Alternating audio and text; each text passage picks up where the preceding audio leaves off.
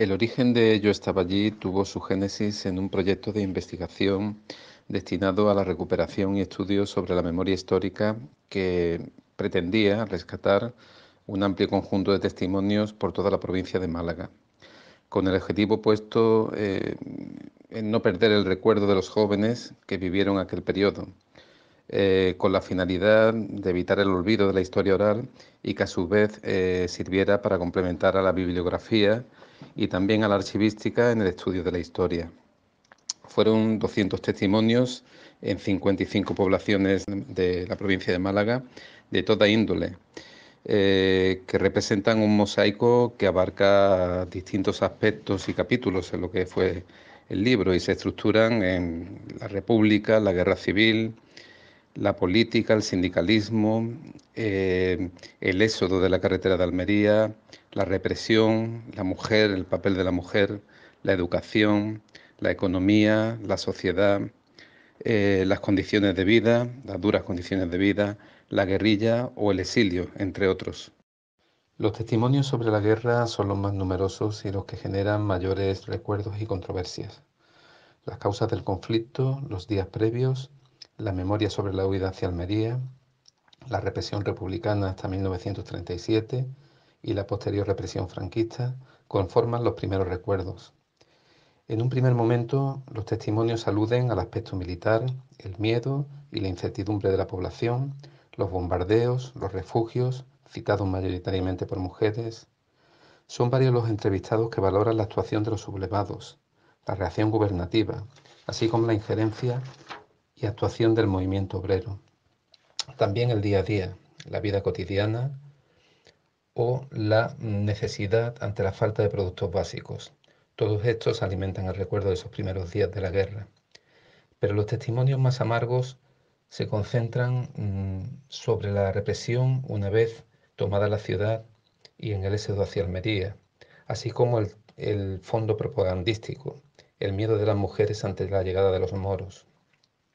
Según las distintas ideologías de los entrevistados, se originan posturas totalmente divergentes sobre el transcurso de los acontecimientos.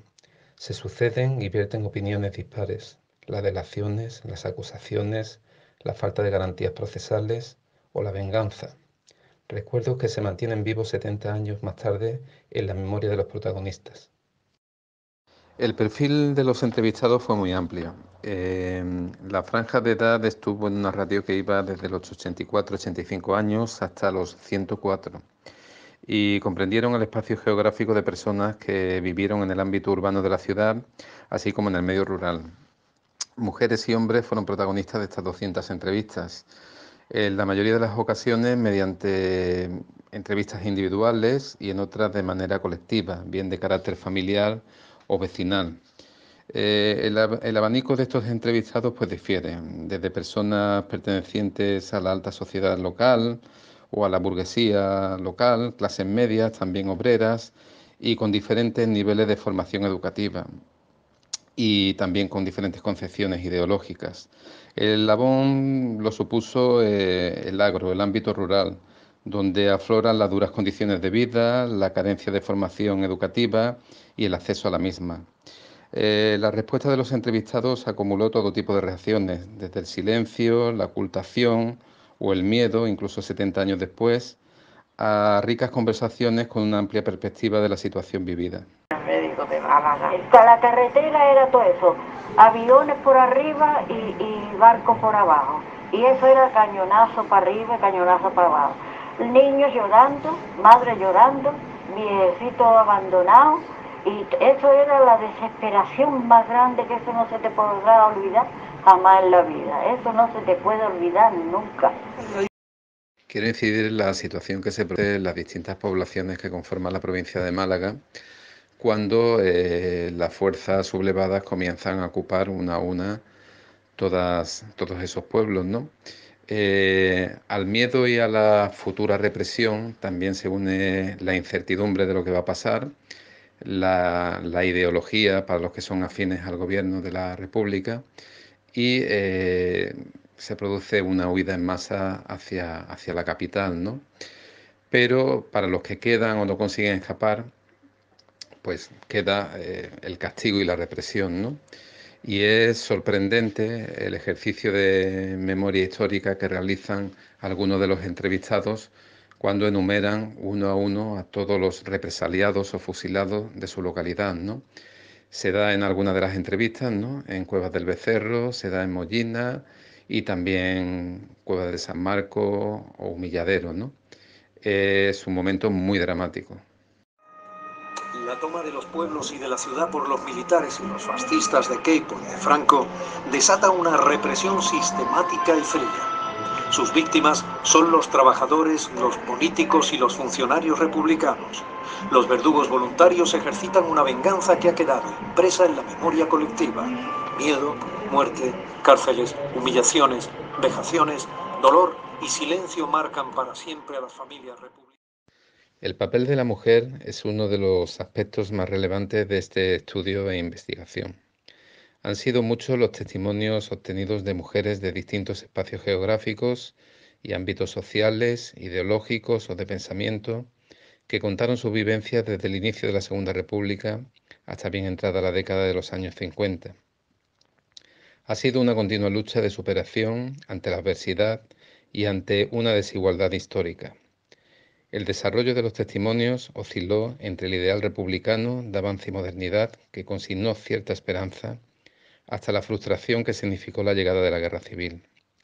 Sus testimonios recogen el apoliticismo, la vida cotidiana, la educación, muy dispar esta según las condiciones sociales y geográficas, el miedo por su condición de mujer a los invasores, la propaganda, la represión ideológica, que es donde encontramos más testimonios, nos pelaban, como en Villanueva de Tapia, por bordar una bandera sindical de la UGT, y la represión que la rodeó, la pérdida de un familiar, el éxodo de la carretera de Almería y el espíritu de superación para continuar adelante.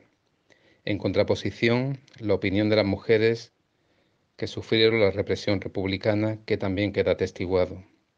Una vez finalizada la guerra, con un opaco futuro por delante obligará a muchas de ellas a la servidumbre, al extraperlo y también e incluso a ayudar a los familiares huidos a la sierra, la guerrilla, como se recogen distintos testimonios en las localidades de Istán y Coín. También la significación de los hijos por ser hijos de represaliados. Pasarán años hasta la normalidad democrática.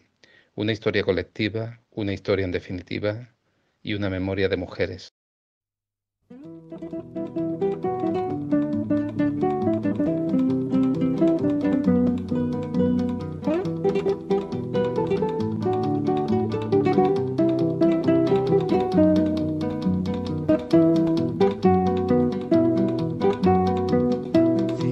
Quieres escribir, ya sabes mi paradero